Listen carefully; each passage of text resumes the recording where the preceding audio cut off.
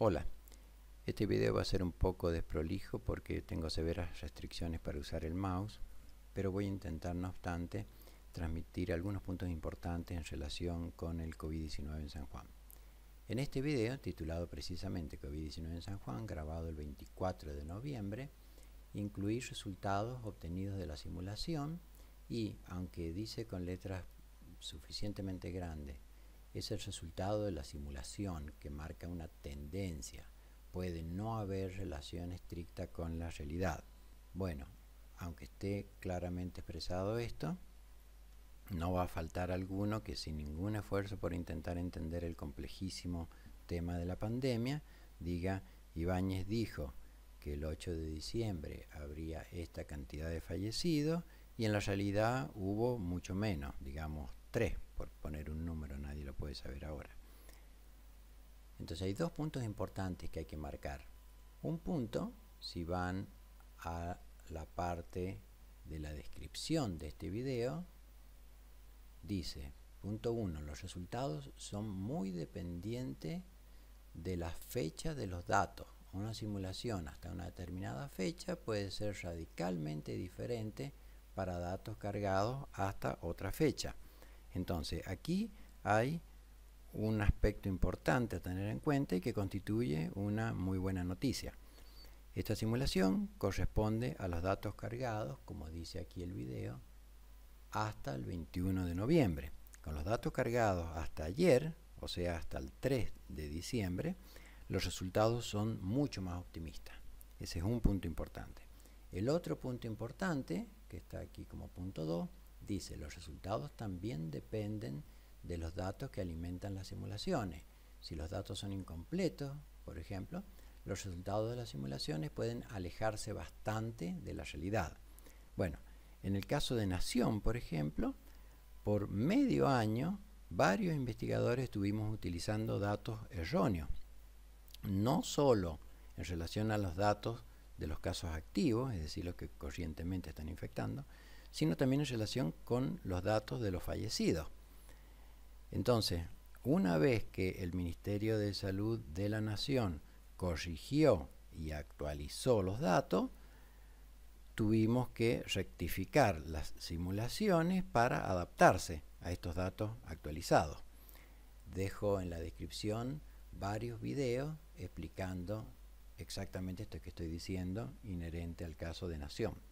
En el caso de San Juan, yo no veo datos erróneos, pero sí veo datos incompletos, es decir, esto que está aquí. Veo datos incompletos. ¿Cuáles son los datos incompletos que yo veo?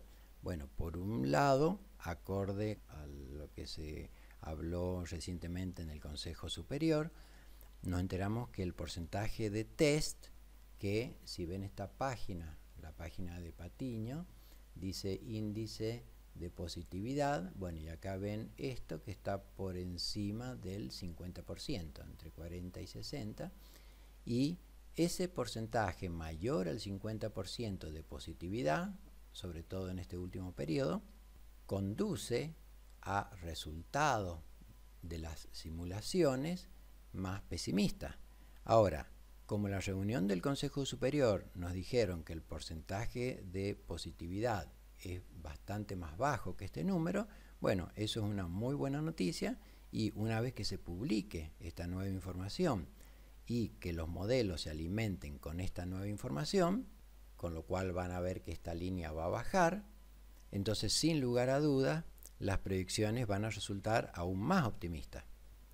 Es decir, primer optimismo porque estos datos y estas simulaciones ya están un poco viejas. Segundo punto para ser más optimista, estas simulaciones están con datos incompletos y una vez que se publiquen estos datos, con seguridad los resultados van a ser más optimistas.